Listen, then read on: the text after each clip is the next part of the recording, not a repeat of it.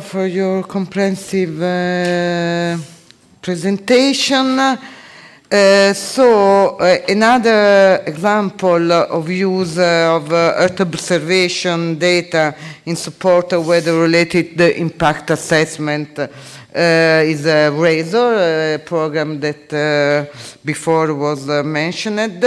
And so um, Giorgio Rudari from CIMA Foundation will speak about that. Thank you. Thank you, Paola thanks all I mean, for still being in the room because I understand it's been a very long day. I promise it's going to be a fast presentation. And Not at all. I mean, there's no text, just figures, images, movies. So it should be, I mean, uh, enough entertaining to keep you awake. Anyway, uh, this is presented within, you know, this national event, in a sense. But uh, in fact, I mean, RASOR was a multinational effort. It was an FP7 with a lot of contribution from many countries, Netherlands, Germany, uh, Spain, Greece. I mean, everybody, I mean, contributed there, I mean, with their own expertise.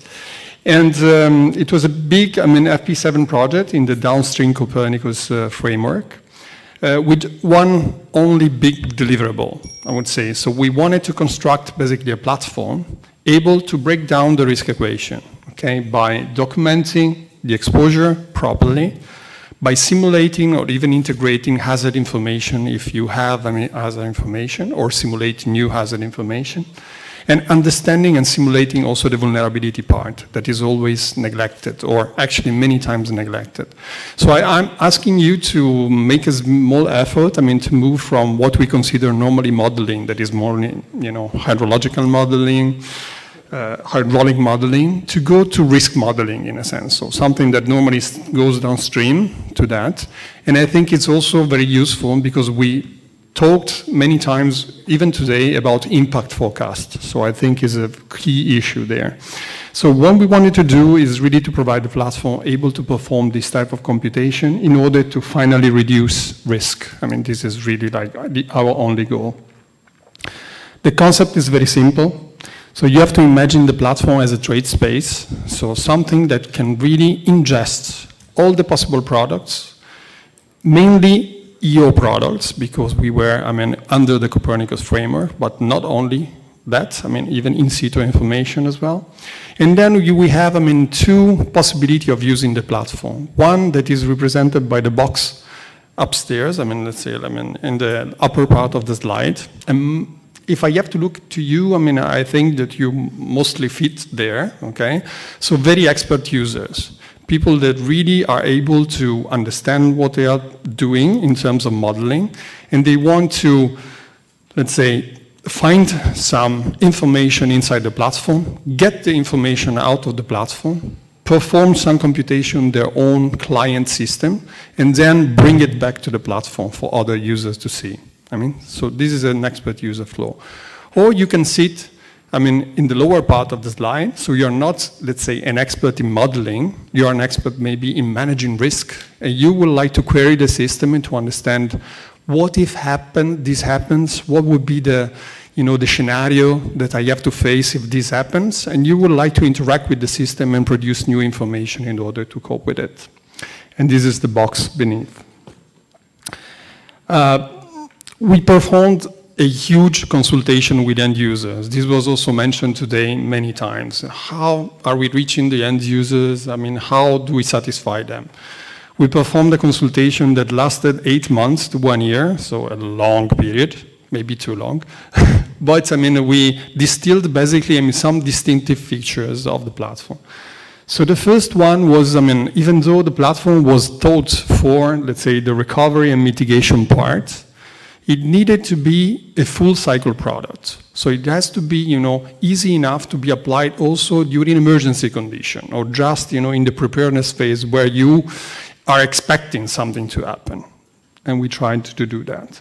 The second point is that we wanted to have, I mean, a platform not to model only one risk. I mean, not just riverine floods, but all types of floods not only floods, but also severe weather and winds, not only weather-related risk, but also geophysical ones, because they are all interconnected many times, okay?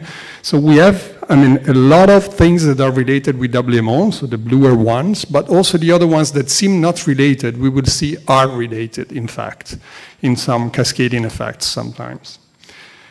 We wanted to use something that was, you know, user-driven, so you could perform, I mean, queries and change parameters, I mean, in a very easy way. Maybe even too easy, we will see that, but uh, that's, that was one of the aim, to change, I mean, some key parameters to verify what-if scenarios. Another thing was we wanted to model very different, you know, impacts, okay? Physical impacts, economic impacts, social impacts, human impacts, environmental impacts, all these kind of things in a quantitative way as much as we could. We wanted to do it with a, let's say, in a framework that was open source, in a KISS framework, so keep it simple, silly, we say, even stupid sometimes, okay? So, I mean, this is the, the thing of your app on your smartphone, okay? And interoperable as much as possible with other type of, uh, with other types of platform. And last but not least, one would say, okay, okay, it was driven by the combination of in situ data and EO data. And if we cast, you remember the first graph I showed you, the, the, most complex slide, I mean, with the platform, I know. If we cast it actually in the picture that uh, Professor Bernardinis and also Laura was, you know, telling you, okay, of the core collaborative ground segment extended, you can see that RASOR fits perfectly there, okay? So RASOR would ingest basically all the level from level zero to level two, level three products, added value products, in a smart way to public interfaces, okay? So that you can really, you know, produce added value products in turn. By sitting also, and this is not, I mean, a negligible thing, on a receiving infrastructure of a huge amount of data, because, I mean, Sentinel data is terabytes of data every day, okay? On a big data infrastructure management framework, and also, I mean, with a big computing infrastructure, so we can think of doing many things with that. Now, I mean, actually, the, all the concepts I wanted to transfer to you, I mean, are there, okay? I'm just giving you some examples of application, okay? So imagine you have a world eye view, so a high very high resolution optical image. With a platform, what you could do is extract, for example, the features, okay? So for example, the footprints of the buildings. You can characterize them and the platform guides you on how to characterize them, I mean, in terms of uh, what type of peril, for example, of hazard that you would like to, to, to perform the computation for. And also, I mean, guides you in the characterization of such hazards, I mean, among very different characteristics that are determining the vulnerability of that specific uh, asset.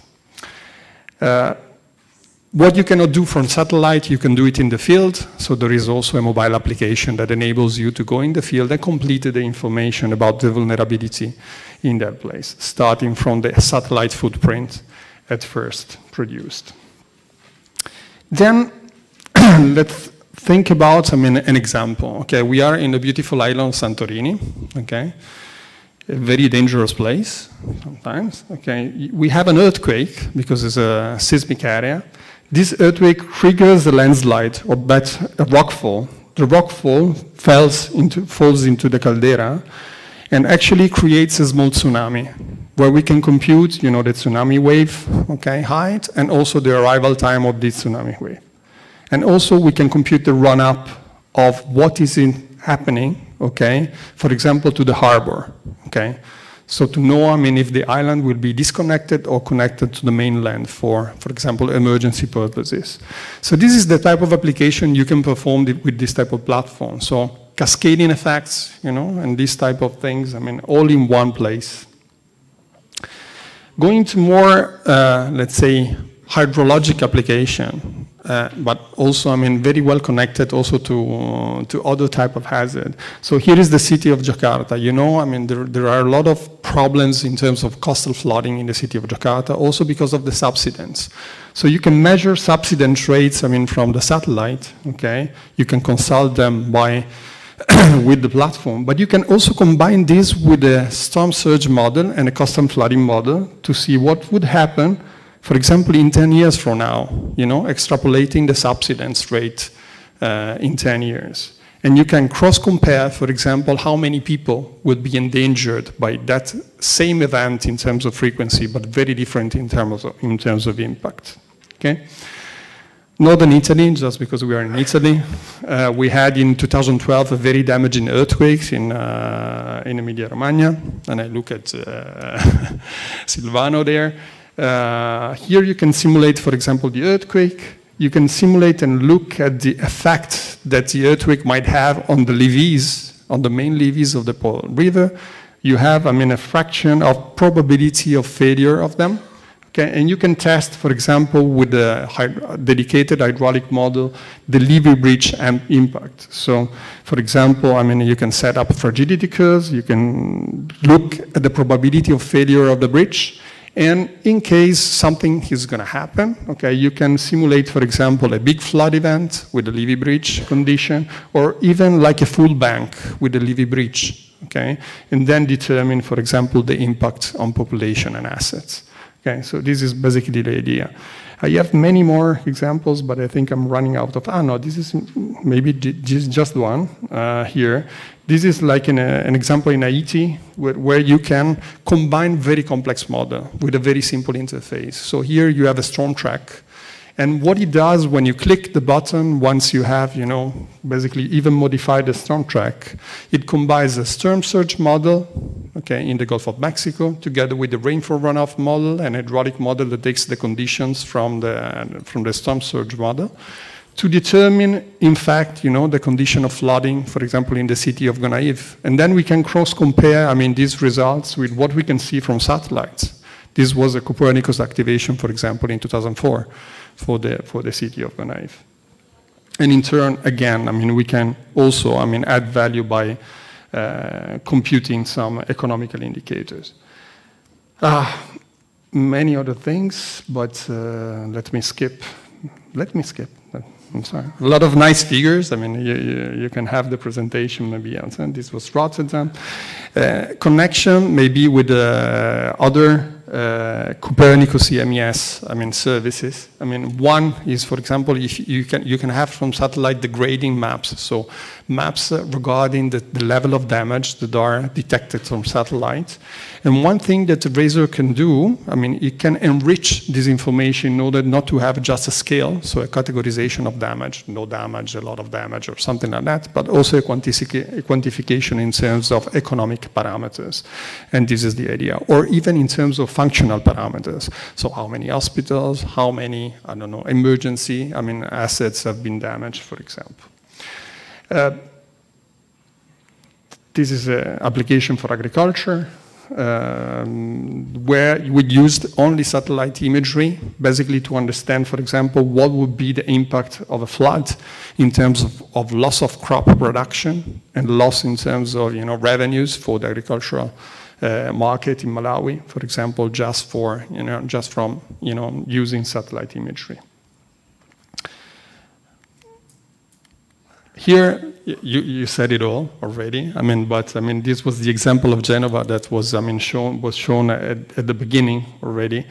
Cross-comparing, for example, different conditions in a cost-benefit analysis framework in order to understand if you have to undertake certain, you know, flood measures or not. But we did it, for example, also in other places like Florence, for example, in a very extended, I mean, on a very extended part of the territory.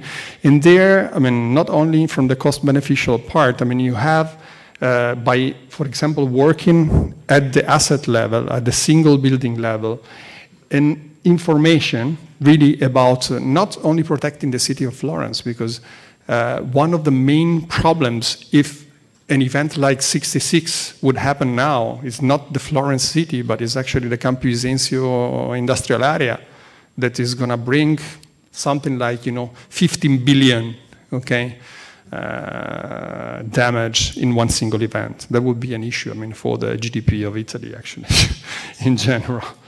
Um, final topic is uh, actually RASOR could be cast into a more complex framework, we've been talking about climate services. and uh, a lot, WMO climate services. There is also a climate service provided by, in the Copernicus framework.